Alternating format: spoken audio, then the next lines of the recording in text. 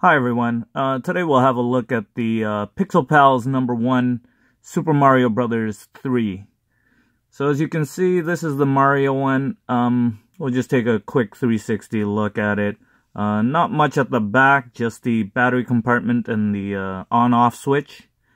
Um, but just gonna bear with me.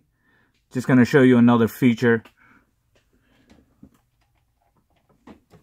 Still here, folks. Just wait. And as you can see, when the light goes on, it looks pretty amazing. Looks just like the video game. Thanks for watching, everyone. Take care. Bye.